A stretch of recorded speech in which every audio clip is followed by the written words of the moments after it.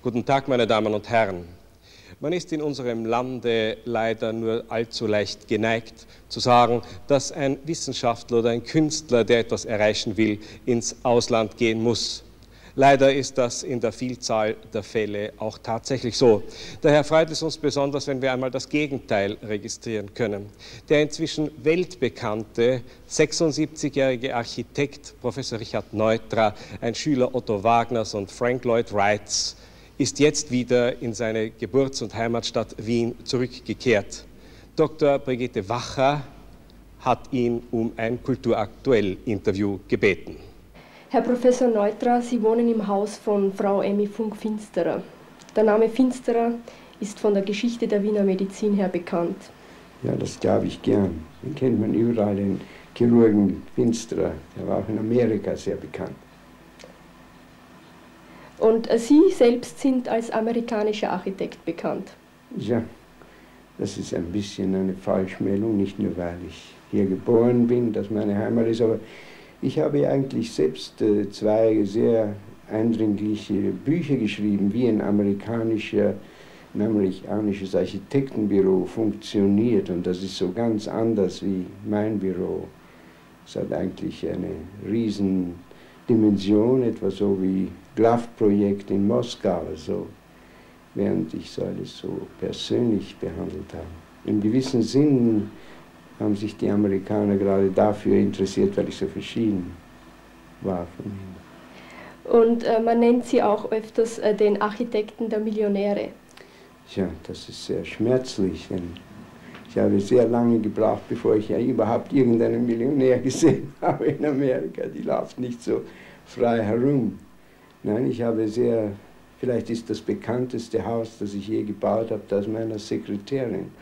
1963 äh, beauftragte man sie nichtsdestoweniger von amerikanischer Seite her, das Abraham Lincoln Museum zu bauen. Ja, das ist, das ist vielleicht eine sehr amerikanische Sache, nicht wahr? Wenn ein Fremder, ein Ausländer das Sanktuarium einer Nation zu bauen kriegt.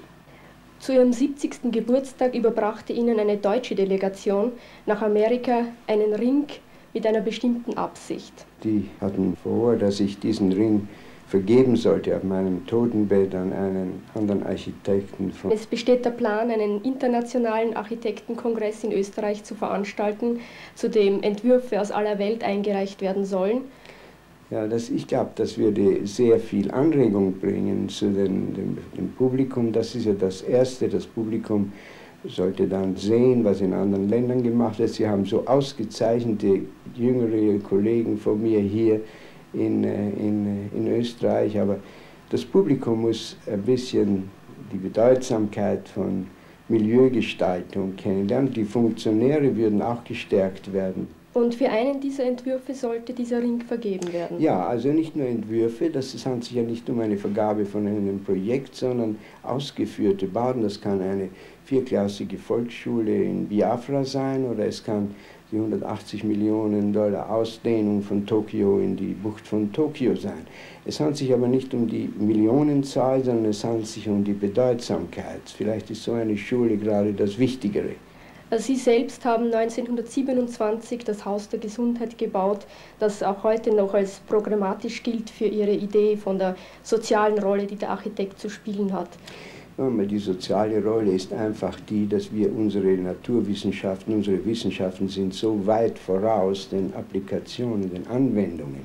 Und die soziale Rolle ist, dass die Vitalität des, äh, der, der, Bevölkerung gestützt wird, nicht nur im Heim, sondern schon von der, von der Geburtsklinik an sind die Krippe, die Kindergarten, die Schule, die den Hörsaal der Universität. Sie bauen hier zwei neue Universitäten oder drei in, in Österreich. Ich glaube, alle diese Dinge sind Milieugestaltung. Der Architekt umgibt den Menschen von der Geburt an bis zum Graben, während mit Umgebung, mit Milieu.